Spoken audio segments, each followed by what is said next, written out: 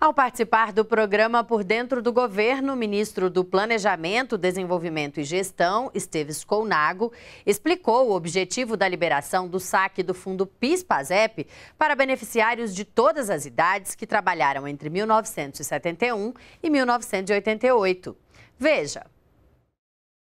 São dois objetivos. Né? Primeiro é dar a possibilidade das pessoas de ter acesso a uma poupança que é dela, uma poupança que foi constituída ali até 1988 e de lá para cá vem sendo corrigida. Teria, tinha várias restrições de saque, era só para pessoas acima de 70 anos ou para o cotista em que falecesse ou que tivesse alguma doença. Então, o objetivo do governo é facilitar o acesso das, dessas pessoas a uma poupança que é dela. E, obviamente, isso pode ajudar a economia a retomar o seu crescimento, né? É, a ganhar tração. Então, a economia ela vinha ganhando tração no primeiro trimestre.